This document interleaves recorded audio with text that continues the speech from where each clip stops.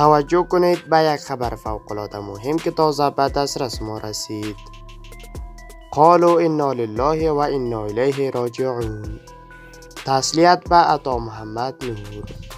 به نام خداوند بخشاینده و مهربان بازم خوش آمدید به یک دیگر از ویدیوهای channel کابل وایس.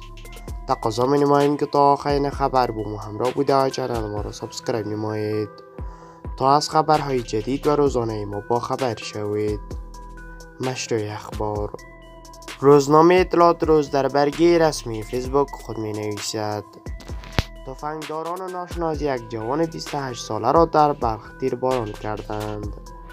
منابع مردمی در ولسوالی چمتال ولایت بلخ می‌گویند که یک مرد جوان 28 ساله توسط افراد مسلح ناشناس تیرباران شده است.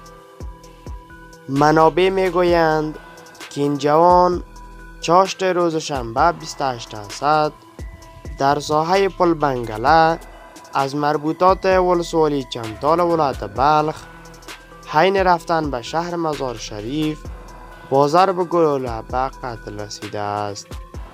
به گفته منابع این جوان راز محمد نام داشت و باشنده اصلی روستای چمتال مرکزی ولسوالی چمتال ولایت بلخ بوده است.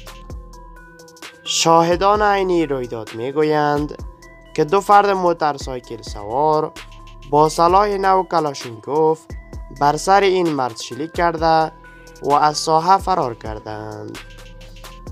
مسئولان امنیتی طالبان در ولایت بلخ تا اکنون حاضر به ابراز نظر در پیوند به این رویداد نشدند.